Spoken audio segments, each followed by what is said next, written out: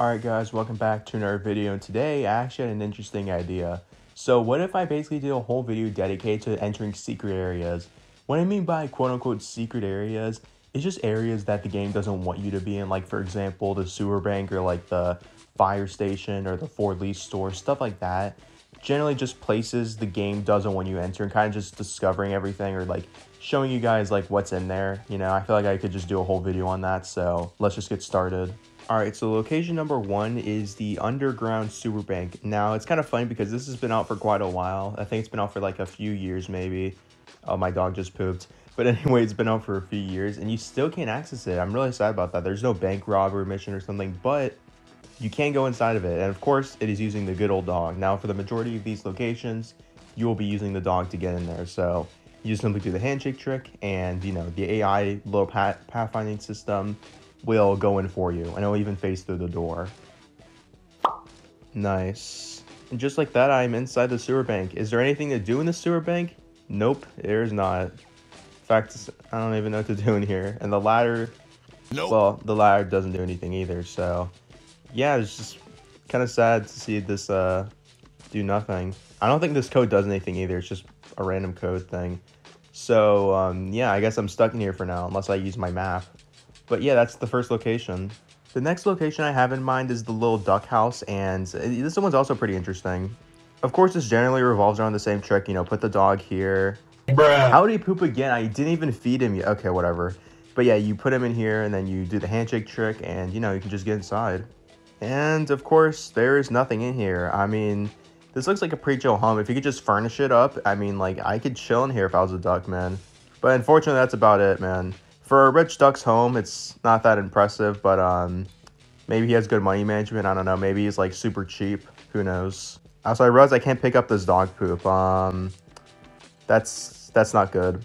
Next up, we got the long-awaited For Lease store. This is another area in the game that generally hasn't been updated or we haven't really seen news about what's going to happen to this release store, but you can still go inside of it. And of course, this one also revolves around the dog. You just push him to the side um, and use the handshake trick.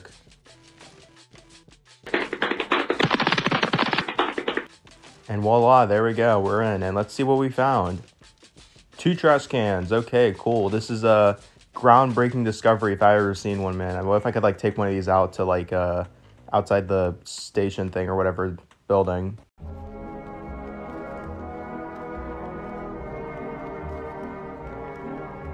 Well, I got both the trash cans stuck. I couldn't get outside, but it was worth a shot, I guess. Anyway, unfortunately, that's about it for the Furley store. Still kind of interesting, though, I guess. All right, next up, we got Pemberton Cell. So, um, this one's pretty interesting. You can't go fully inside the cell, but you'll see what I mean in a minute.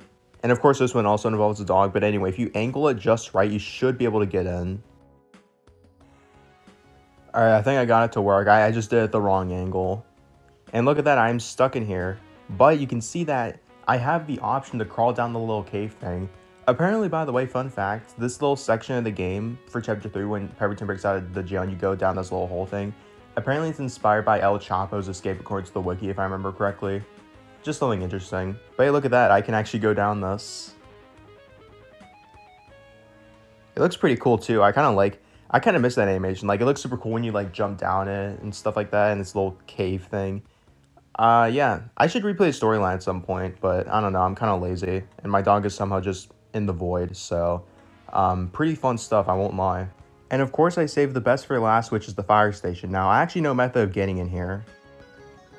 I had my microphone turned off for this part, but I still managed to break into the fire station. And honestly, it's definitely uh, something else. You can see that dude up there just floating, um, stuff like that. And you can see this giant pole. Um, and there's just a bunch of fire station stuff, you know.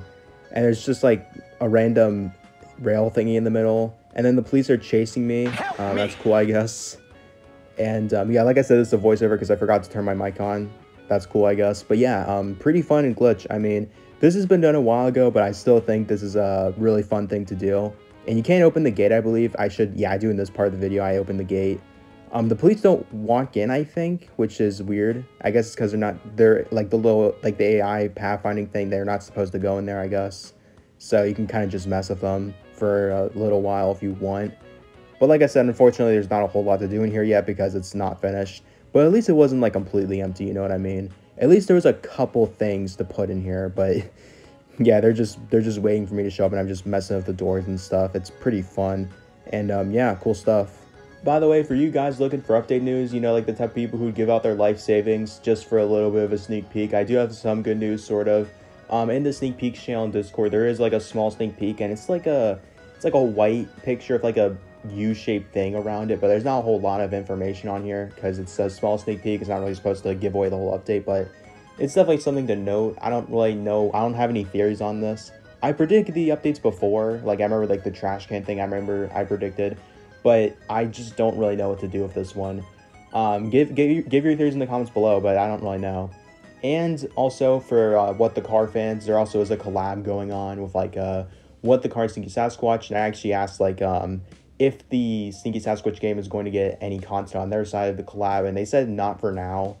So I don't know when that's going to happen. It's probably not going to be for a very long time, probably because they just haven't been updating a whole lot lately. Like you can see that most of the time they'll go like six months with no updates, but maybe I'm wrong. I hope I'm wrong.